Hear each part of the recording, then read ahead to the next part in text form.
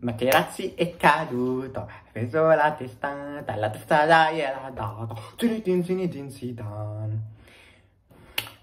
Eeeh! Tornare alla maison, tornare alla maison, Francia. Tornate a casa, tornate a casa. Cioè, possono passare pure 10.000 anni. A casa, a casa. Questa è l'Italia che noi vogliamo vedere. Grandissimi ragazzi, grandissimi. 3 a 1 tra Francia e Italia. Eh, prima giornata della Nations League, come ben sapete il campionato si è fermato per dare spazio alle nazionali, alla, alla Nations League l'Italia porta i primi tre punti nel girone superando eh, la Francia invece eh, perde la sua prima la prima partita del girone. Allora, la partita inizia cioè, dopo 20 secondi dal gol di Barcola del, del giocatore del Paris Saint Germain, però si è visto l'errore di Di Lorenzo e subito la gente a lamentarsi, eh, ma cosa ci fa Di Lorenzo in nazionale? Eh, abbiamo visto l'errore fatto da commesso da Di Lorenzo, però un errore così eh, non si può proprio commettere. Però mm, segna il gol dell'1-0 che porta in vantaggio la Francia. Però ho notato una piccola cosa, e quale sarebbe? E che la Francia ha giocato con le riserve, con le riserve ha giocato. Cioè non ho visto entrare giocatori come Turam, subito Griezmann, poi eh, cioè questi giocatori qua, cioè solo riserve, ho visto. Riserve. L'Italia ragazzi ha, ha, mi è piaciuto molto sia come ha reagito nel primo tempo, finalmente però nella formazione possiamo rivedere giocatori come Sando Tonali che ricordiamoci che Sando Tonali è stato squalificato per 10 mesi per via uh, dei uh, uh, come per via di cose illegali nel senso di, ehm, di scommesse, scommesse di calcio scommesse quella vicenda di calcio scommesse che ha mm, scosso tutto diciamo il mondo del calcio. E Tonali torna 10 mesi dopo il nazionale e, e, fa una grandissima prestazione Sandro Tonali, devo dire che sono i miei in campo. Uno dei peggiori, mamma mia, non volevo proprio elencare proprio, è Lorenzo Pellegrini, mamma mia, cioè, ancora non ci siamo imparati niente dalla partita contro la Svizzera, cioè, che mamma Pellegrini in campo non si può vedere. Mamma Pellegrini. Un super Gigio Donnarumma, cioè grandissimi, eh, grandissima Italia che è stata.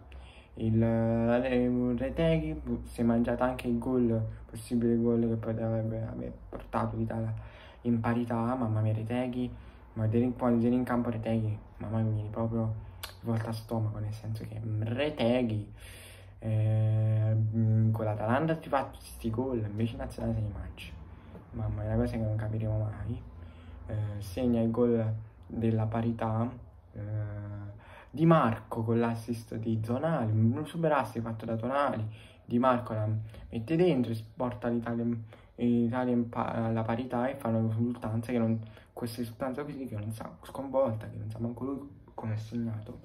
Segna poi il gol del 2 a 1 nel, a portare l'Italia in vantaggio, Frattesi che segna il gol del 2 a 1 e poi il, il, l'ultimo gol segna Giacomino Raspadori che chiude la partita. E finalmente Raspadori torna a segnare con la nazionale dopo chissà quanto tempo e fa una, però è una grandissima prestazione, quella che abbiamo visto una grandissima Italia, cioè giocarsela e veramente senza è una bellissima Italia che comincia bene il suo percorso in Nations League.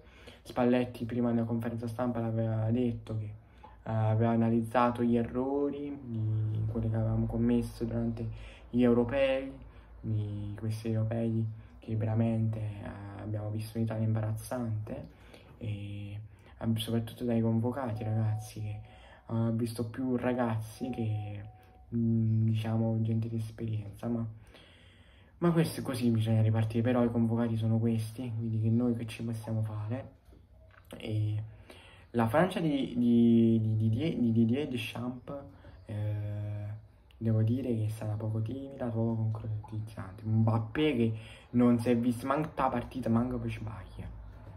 Cioè, allora, questa partita veramente i francesi sanno vendere baguette. Andate a vendere baguette, baguette. Mamma mia, già tre baguette, mamma mia.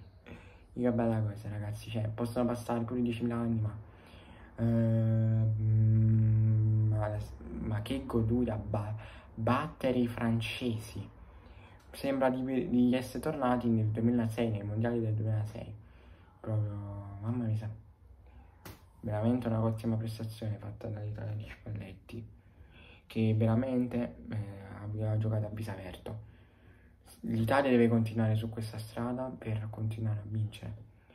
E, però questi errori qua, fatto da Di Lorenzo, non ci devono stare. Eh, quindi, perché lì veramente rischiava veramente di perdere la partita.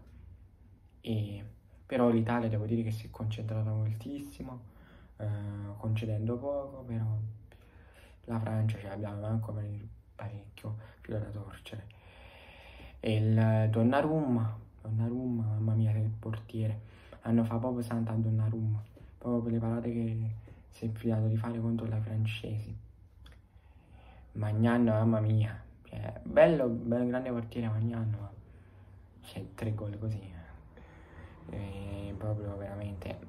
Dopo, ma dopo questa partita, poi? Quanto riguarda la sponda francese, hanno bisogno di più di, di riguardarsi un po' e secondo me ragazzi cioè, non è la prima volta che la Francia gioca così e a parer mio giocando così penso che Didier Deschamps comincia un po' a traballare ma è solo la mia intuizione questa.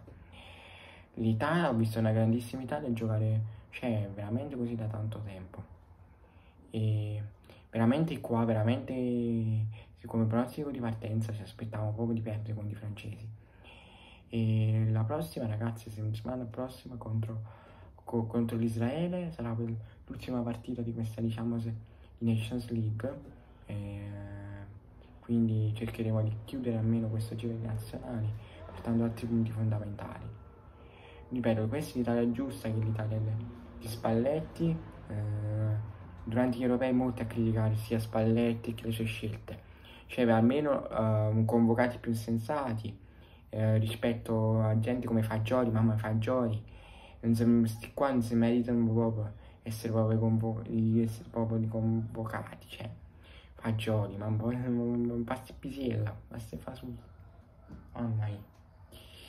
E il resto, il, resto ragazzi, abbiamo visto veramente un'Italia che ha veramente sceso in campo voglia di vincere, questo è l'atteggiamento che ci aspettiamo che deve essere messo così. E voi cosa ne pensate ragazzi? Che dire, questo è tutto, ci prossimo video, quindi che dire, questo è tutto, bene raga.